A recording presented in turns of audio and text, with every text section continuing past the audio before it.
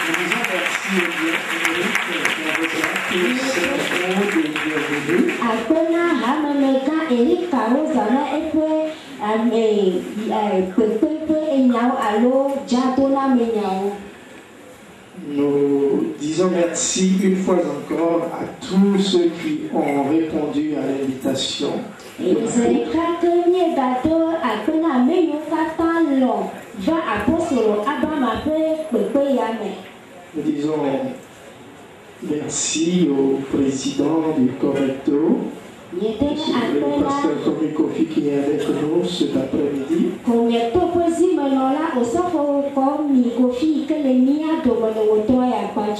Et tout à l'heure, nous aurons l'opportunité de donner la parole à un homme de Dieu très respecté et très respectable qui aura la lourde charge, je le dis ainsi, cet après-midi d'officier cette cérémonie de dédicace.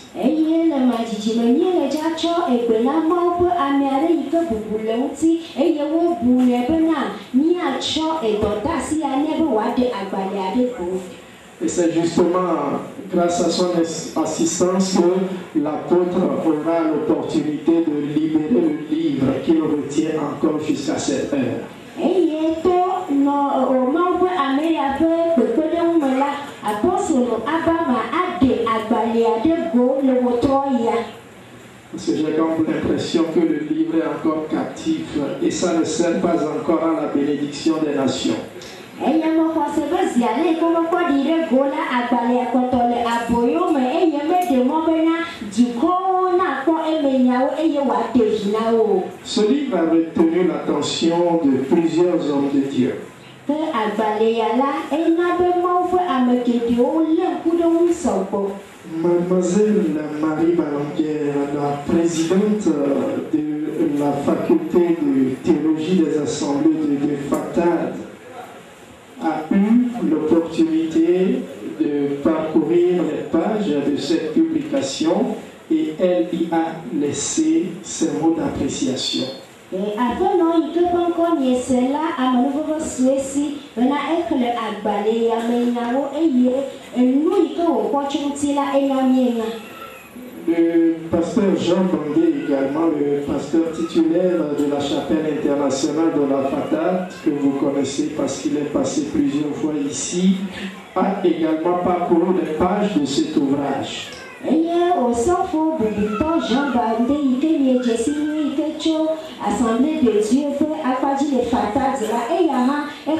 ke eya na mienya Nous avons eu la grâce également d'avoir dans cet ouvrage les mots du révérend Adieno, eye amenuveve hã su míasi be to agbalẽ ya me la ke mawo ƒe ame bubutɔ adzenu hã ƒe enyawo Toutes ces distinguées personnes auraient bien voulu être présentes au milieu de nous pour nous révéler ce qu'ils ont découvert et apprécié dans les pages de ce livre.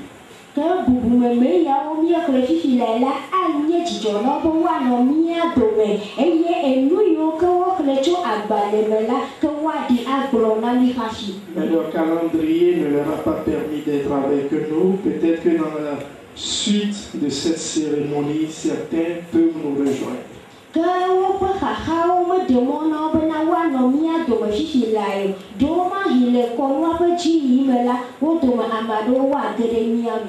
L'opportunité que nous avons cet après-midi, c'est d'avoir avec nous le président du conseil d'administration de Wycliffe Togo.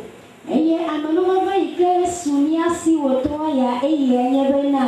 Conseil d'admi- d'administration tso wycliffe togo ƒe ametɔtɔ le mía dome. C'est le président. ke zimenɔtɔ ŋutɔ ye le mía dome. Taflatsi Qu'a-t-il découvert dans ce livre? Et selon lui, qu'est-ce que ce livre peut apporter à une nation? Et comment les chrétiens que nous sommes pourrions-nous faire usage de cet ouvrage dans nos différents pays Il viendra nous le dire tout à l'heure.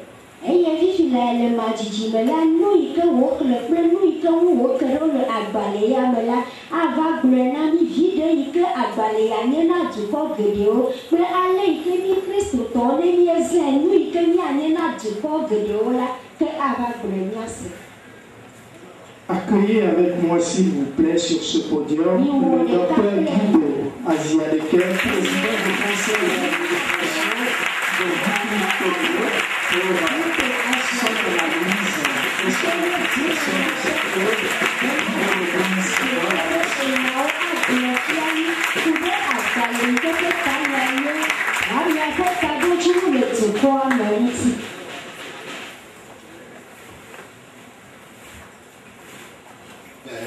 je vous remercie, Mete akpenami, chers frères et sœurs en Christ, nɔviwo tsi ke nyɔnuwo le kristo me, chers invités, ame kpekpe lɔlɔwo. je vous salue dans le nom de Jésus. Medo gbe na mi le Yesu Kristo ƒe ŋkɔ me. Euh, Comme on, l'a déjà dit, ale la, un livre qui a été retenu pendant trop longtemps en captivité. Je me rappelle euh, l'avoir lu il y a déjà plusieurs mois. Je ne m'attendais pas à ce que ce soit moi qui sois retenu pour représenter ce livre ce jour. Eye nyemekpɔ mɔ bena enye woava tia be maɖe agbalẽ ya fia egbea o. Apôtre Abraham ne peut jamais m'appeler pour me demander quelque chose, je vais lui dire non. C'est simplement avant-hier, vendredi, autour de 10 heures, qu'il a confirmé que je suis sur son programme. Et comme je l'avais déjà lu, ce livre, je l'ai encore fli simplement rapidement prendre le nom. Comme euh, le présentateur l'avait déjà dit, la c'est un livre qui m'a été préfacé par des serviteurs que vous connaissez, la théologie,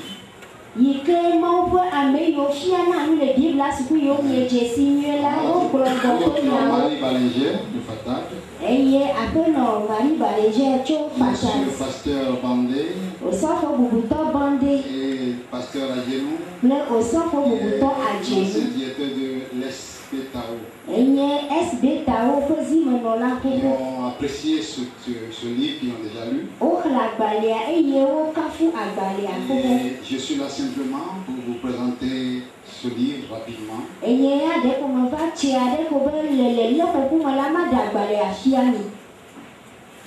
But de l'Église dans la nation. Tel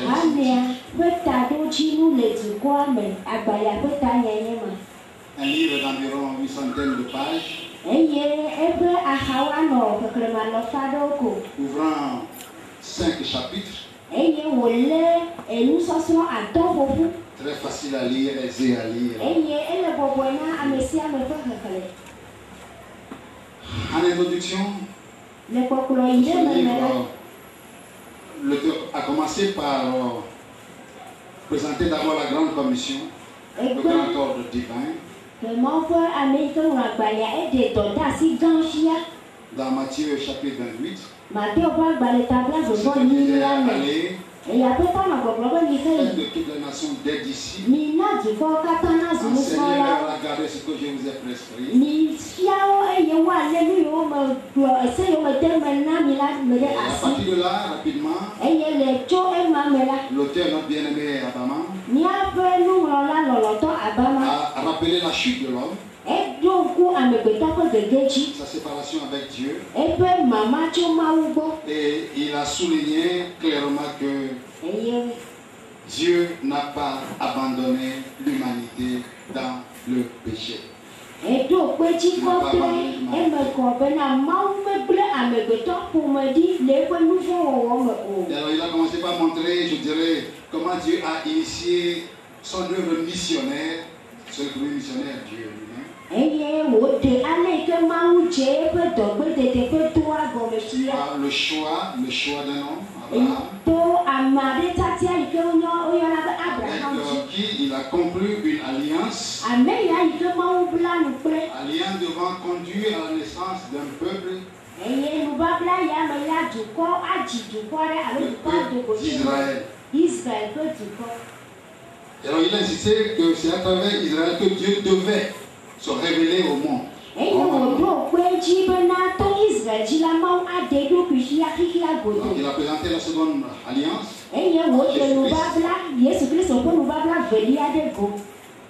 Et avant de définir l'Église, parce que les mots-clés qui sont en couleur dorée, Église et nation,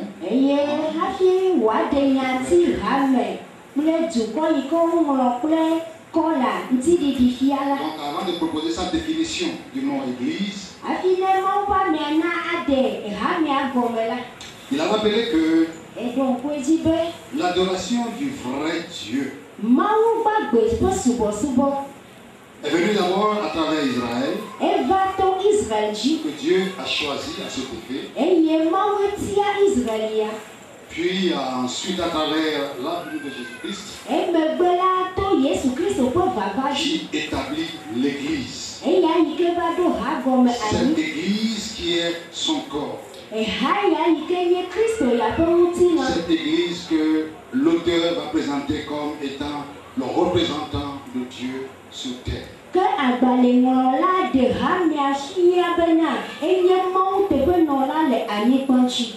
À partir de là, il a commencé son premier chapitre. Son premier chapitre intitulé L'Église manifeste la nature de Dieu.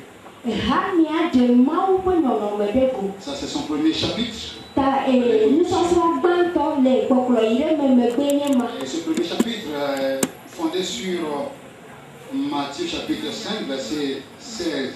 Verset 13 à 16. nufafia gbãtɔ ya etui le mateo ƒe agbalẽ ta atɔ kukui etɔ̃ yi ɖe wi adea dzi Avant d'entrer en profondeur de ce chapitre, hafi ne wòage ɖe mawunya kukui ya ƒe gogolomeme la l'auteur, euh, l'apôtre Abba- Abama, agbalẽa ŋlɔla yi ke nye apostolo abama a précisé que eɖo kpe dzi bena le chrétien, kristotɔ il est celui-là qui a reçu en lui la nature de Dieu, la eya nature de nye Christ, ame ya yi ke xɔ mawu ƒe amenyenye ɖe ɖokui me et kristo ƒe amenyenye est appelé à marcher comme Christ.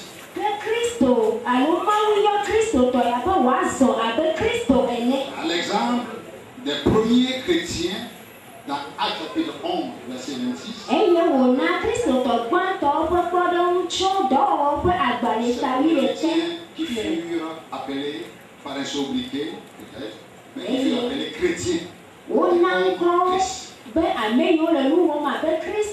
Christ. Et alors il est revenu donc sur l'enseignement du Seigneur Jésus-Christ qui compare l'Église ou les chrétiens au sel de la terre et à la lumière du monde.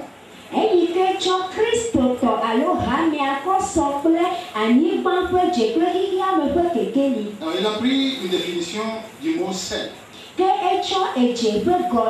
Gɔmedede qu'il a pris dans la rousse, la rousse? Mais il a insisté sur deux rôles. l'Église doit donc jouer. Ça veut représenter l'Église en tant que edze Celle qui doit donner une saveur, un goût notre monde insipide. Où les valeurs morales se perdent, ou sont perdues, ou se perdent, en train de se perdre. Un monde où le péché est en train d'être légalisé. Aɖe me yi ke wole asi dam ɖe nu vɔ̃ wɔwɔ dzi wole asi dem ɖe semɔ te Les cas de l'homosexualité, la? Prostitution, wòna kpɔɖeŋu abe ŋutsu kple ŋutsu alo nyɔnu kple nyɔnu ƒe gbɔdɔdɔ efuɖeɖe matre ahasiwɔwɔ ŋuti. Pour montrer que dans ce monde insipide, l'Église a besoin d'apporter sa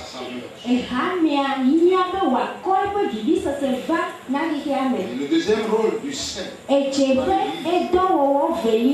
il dit que seul le sel empêche la pourriture. que quand les croyants doivent être un frein à la corruption du monde.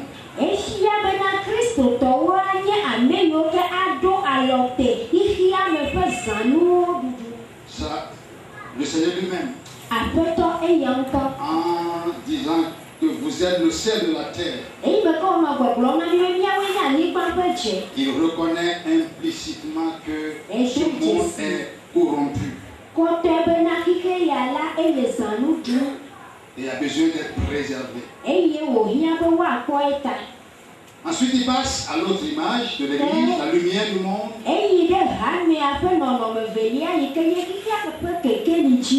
Il a d'abord présenté le fait que le concept de lumière, le concept de lumière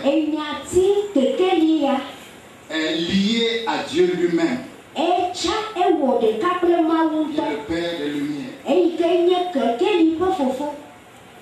Et Jésus reconnaît que le monde est dans les ténèbres. C'est pour cela qu'il a parlé de son Église comme lumière. Et par rapport à ça, l'apôtre disait que la raison d'être de l'Église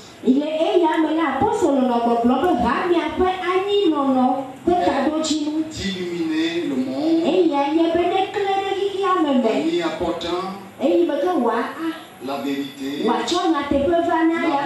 wòatsɔ lɔlɔ va nɛ la paix, etc. En réalité, nous savons que lorsqu'une maison est dans les ténèbres, ça ne sert à rien de condamner cette maison qui est dans les ténèbres.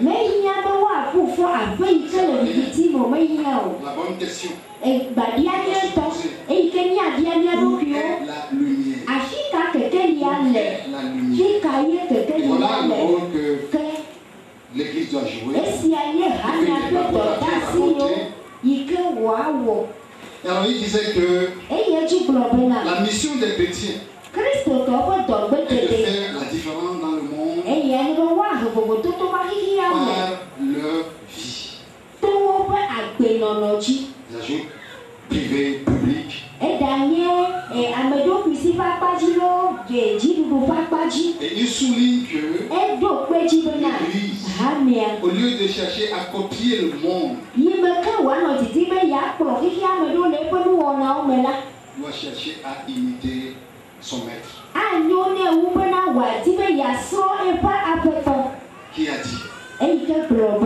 Le prince de ce monde vient, il n'a rien à moi. vɔ mekpɔ naneke le menye o mekpɔ naneke le menye o Donc il insiste, l'auteur, gblɔ l'Église bena doit manifester les valeurs vérité, ele bena hamea na ɖe nyateƒe ƒe asixɔxɔwo ɖe go. D'intégrité, anuku aɖe ɖiɖi ƒe de asixɔxɔ droiture, edzɔdzɔenyenye ƒe asixɔxɔ kɔkɔenyenye ƒe asixɔxɔ lɔlɔ ƒe asixɔxɔ dzɔdzɔenyenye qui ʋɔ caractérise eyiwo ke ɖe son sauveur, ewo eƒe wɔla ƒe nɔnɔme fia Jésus-Christ. yesu kristo Ça, c'est son premier chapitre. eƒe enufafia gbãtɔ J'ai retenu. le lé ƒoƒo yi ke Il mewɔ passe tso à me son second chapitre. ma yi ɖe eƒe nufafa vi Il evelia dzi intitule eyi ke wòna ta nya be L'Église intercède.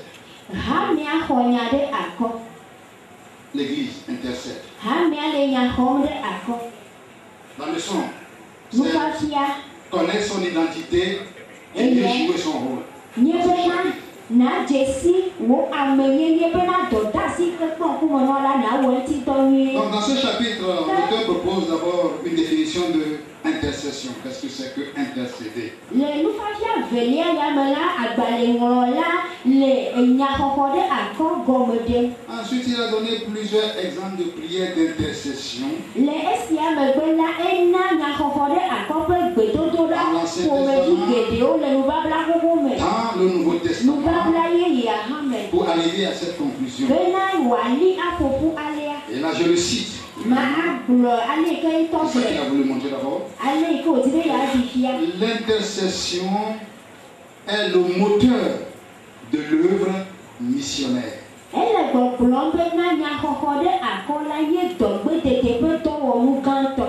Donc revenant sur la grande commission, Toujours dans le même chapitre, il a posé une grosse question. à Pourquoi prier pour les nations? Ta ɖo Et rapidement, il a donné quelques raisons. J'en retiens deux. Première raison, qu'il s'agit d'apaiser d'apaiser la colère de Dieu et de sauver les âmes. Bena eye Si vous voulez en connaître davantage, prenez le livre. mi Deuxième raison, velia nous devons prier pour les nations. ta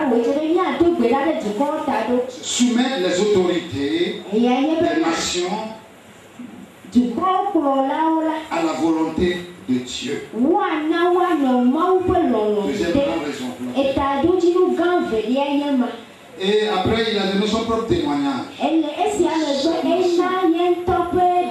dukɔ donné son propre témoignage. eyi me ke wòɖi ɖase ku ɖe ŋutɔ ɖokui ŋuti Il la invite alors tous les chrétiens individuellement, comme me à prier pour notre nation. Ce témoignage aussi, c'est dans le livre.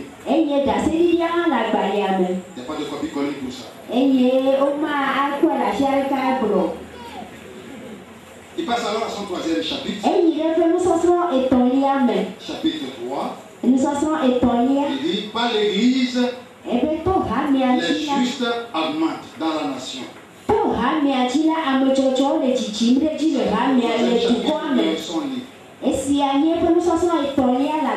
me Par l'Église, les justes augmentent dans la nation.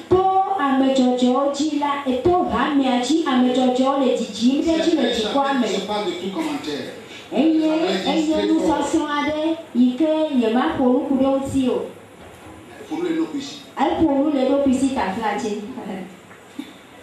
l'idée développée dans ce chapitre, me Dieu se sert de l'Église bena wòa les justes. De la nation. Au sein des nations. Ce qui est intéressant, c'est qu'il a pris du temps pour définir, pour caractériser ce qu'il appelle juste.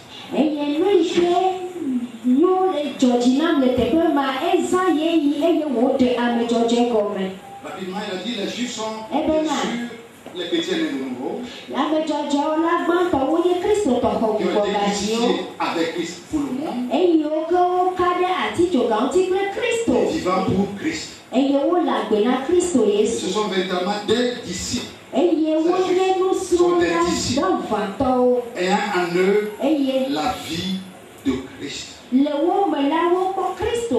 qui ma manifestent cette vie à l'exemple toujours des premiers chrétiens. eye wogana kpɔ ɖe ŋu tso kristotɔ gbãtɔwo ŋuti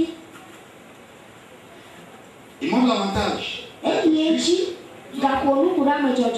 Il dit que lorsque les justes se multiplient, ebe nenye be amedzɔdzɔwo le peuple est dans la paix. Et il déclare aussi il eye souligne wo ɖe gbeƒã que la justice, c'est ce qui élève, qui une nation. Et insiste en disant que c'est un devoir de l'Église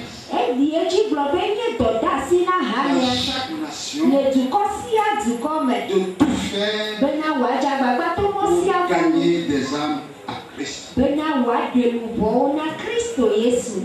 ainsi l'accent sur la mission d'évangélisation wòɖo de kpe l'Église. mawu nyakaka ƒe dɔgbedede yi ke kpɔ ŋkume na hamea dzi Il passe à son quatrième chapitre.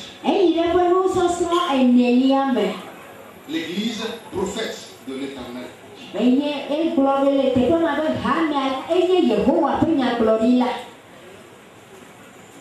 L'Église prophète yehowa ƒe nyagblɔɖila Chapitre 4. enye nusɔsrɔ̃ nelia D'abord, il a clairement défini ce que c'est que le prophète, qui est-il, sa fonction Et il a monté sa place au sein dukɔ dome Il a plusieurs exemples de prophètes. Plusieurs exemples. Il a fouillé, il a aligné plusieurs exemples. C'est tellement frappant qu'on peut voir la place du prophète dans la nation. En commençant par notre père Abraham, que tu edze lui gɔme to Appelé prophète. jusqu'à nos jours. Il montre ensuite que c'est au prophète que Dieu révèle ses pensées. Le prophète euh, doit connaître les pensées, les pensées de Dieu. la Et donc, c'est à l'Église de jouer le rôle de prophète au sein des nations. Il ne s'est- pas arrêté là. il a attiré l'attention des gouvernants. Gouvernants de nos nations. nya Connaître le rôle que l'Église est appelée à jouer au sein de la nation.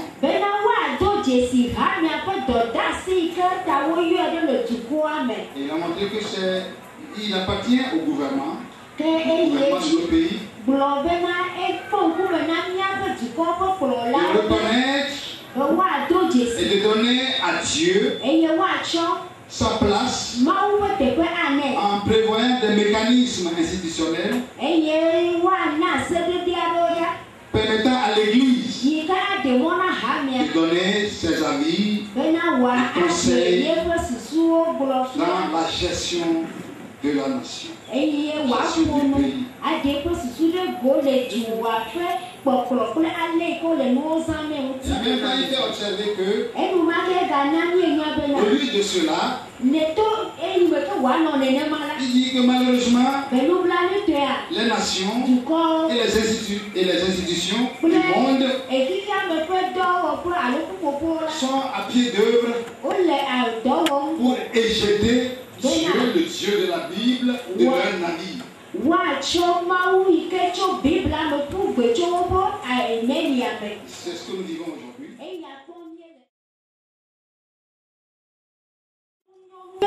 yawo D'autorité, d'obéissance, d'unité, de sanctification.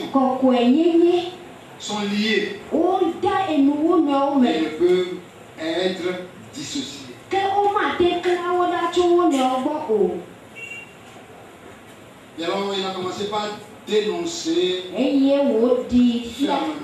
fermement l'hypocrisie,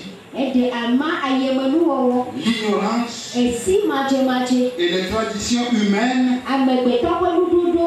qui sont aussi à la base de l'inefficacité de l'Église. Il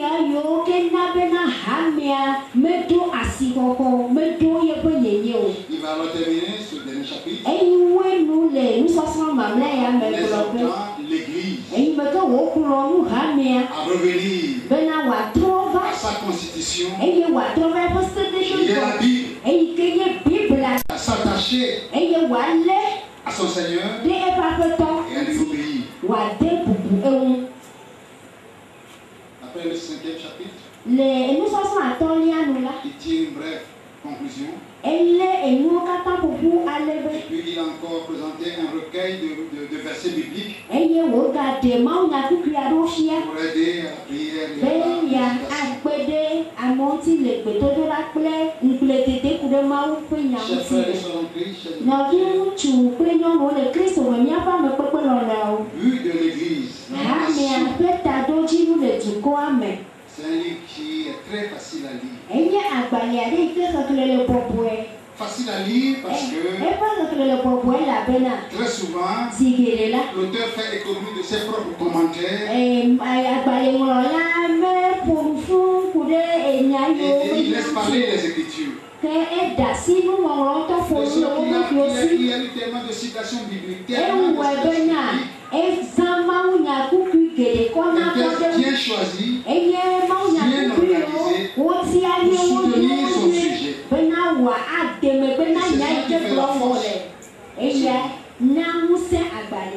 Je l'ai lu, je l'ai apprécié. D'autres l'ont lu. bubu Non, apprécié, passé. ŋgɔ Je vous invite à la voir. Me Que Dieu vous bénisse.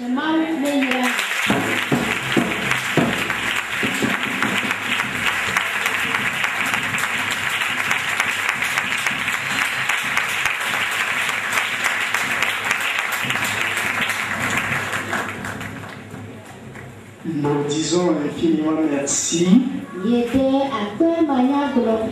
au docteur Guido Aziareke pour cette brillante pré- présentation.